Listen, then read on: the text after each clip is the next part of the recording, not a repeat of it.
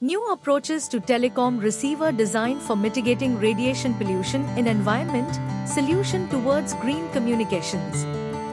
By Amit Kumar Ahuja and Ram Chakka.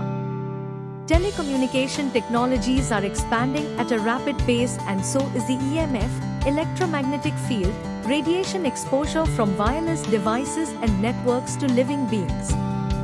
Various research works carried out in the past have shown a positive correlation between EMF exposures and increased diseases among living beings, including humans. The intensity of the concern can be realized from the precautionary warning by the WHO, World Health Organization, regarding EMF exposure, especially for children and expecting women. This warrants the need for a solution that reduces EMF exposure without adversely affecting the quality of service QoS that is deteriorate BER.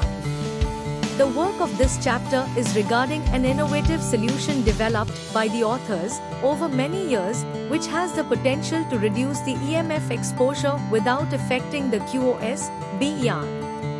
It is shown that the EMF exposure is applicable to a large class of correlated digital signals. Substantial improvements over the classical method are realized and demonstrated.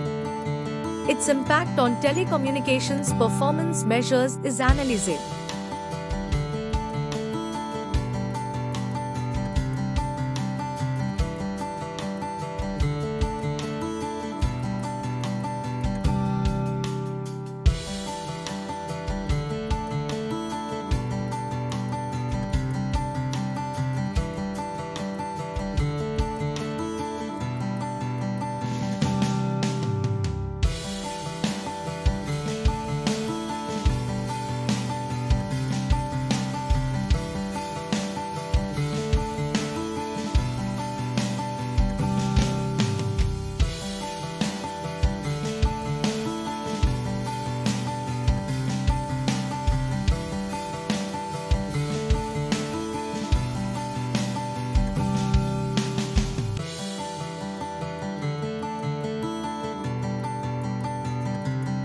Thank you for watching this video.